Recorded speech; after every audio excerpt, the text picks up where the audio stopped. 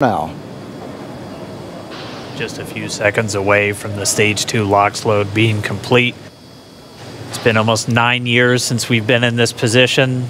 A lot of work done by thousands of people to get to this point. All our eyes focused on two now.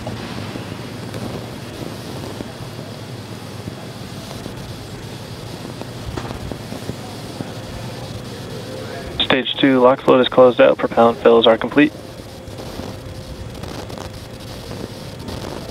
Dragon is in auto idle. Stage two LOX load complete. All fuel, all oxidizer on Falcon 9. 1 minute 34 seconds to go till launch. Ground gas closeouts is starting.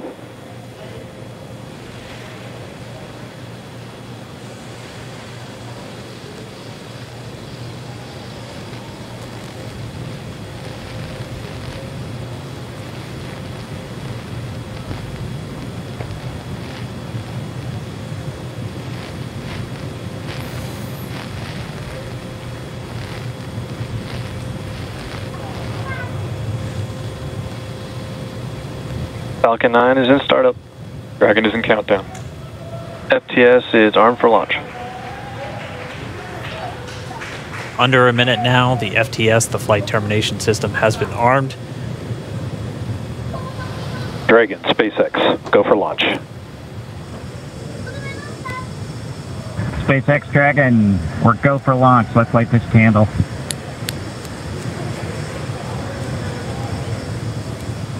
T minus 30 seconds.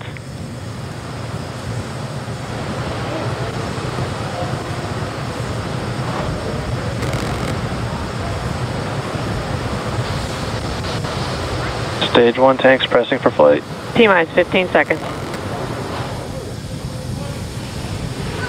10, 9, 8, 7, 6, 5, 4, 3, 2, 1, 0.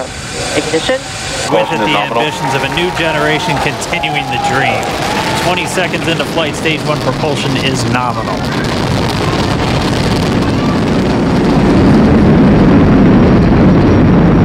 T plus 30 seconds into this historic mission.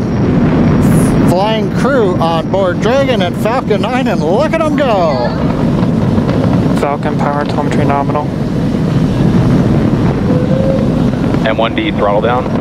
We're throttling down to get ready for the period of maximum dynamic pressure. We're in the throttle bucket. Reports say all systems are go. Vehicle is supersonic. We've exceeded Mach 1 on the Falcon 9. M1D throttle up. We're throttling cue. back up. SpaceX Dragon, nominal trajectory. All right, here in nominal trajectory, so Dragon pointed in the right direction, continuing to make their flight uphill. Heard acquisition of signal Bermuda. That's one of the other ground stations that they're using to get telemetry and data back from this spacecraft. Stage 2 propulsion is still nominal.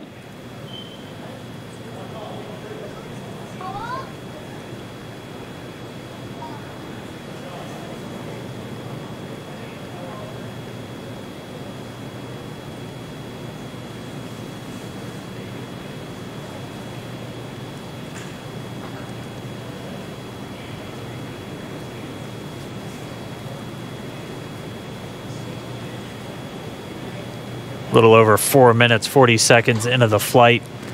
Bob and Doug flying at more than 5,600 miles Dragon per hour. Dragon SpaceX nominal trajectory. Already almost 200 miles downrange from the Kennedy Space Center. Nominal trajectory continuing.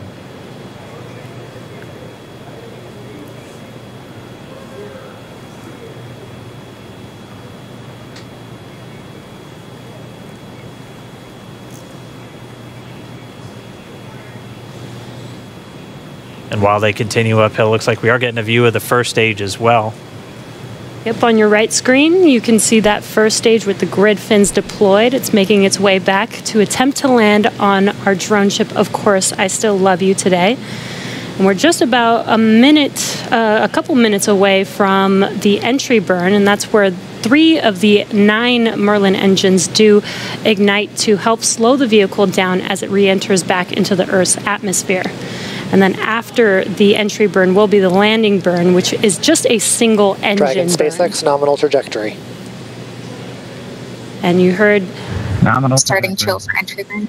there's that call out. They are still on a nominal trajectory on Dragon, still on second stage, and that's that MVAC engine on second stage on your left screen.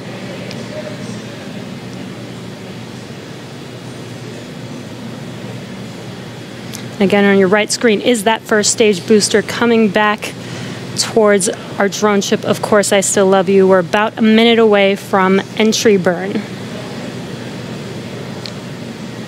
Meanwhile, that second stage continuing to power Dragon into orbit. Again, if you're keeping an eye on that timer, that's going to continue to burn until 8 minutes and 44 seconds into flight. So a little over two minutes from now, we'll hear the call out SECO.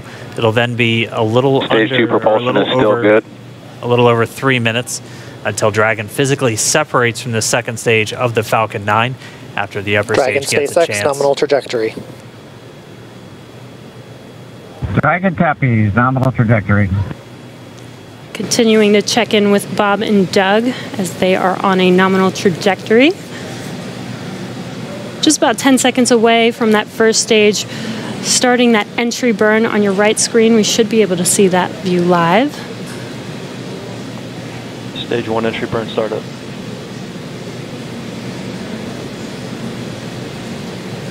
And there is that entry burn beginning. signal, New Hampshire. Power. This burn lasts about 36 seconds long. Stage 2 FTS is saved.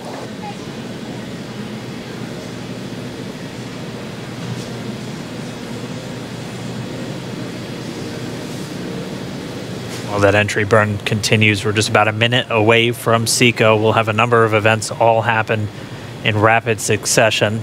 Uh, that'll Healthy be the shutdown. second engine cutoff. Stage one We'll be looking for shutdown. that uh, stage one landing burn shortly after. Yeah, actually, just within a few seconds of each other. It's such a cool view on your left screen, seeing Bob and Doug on Dragon.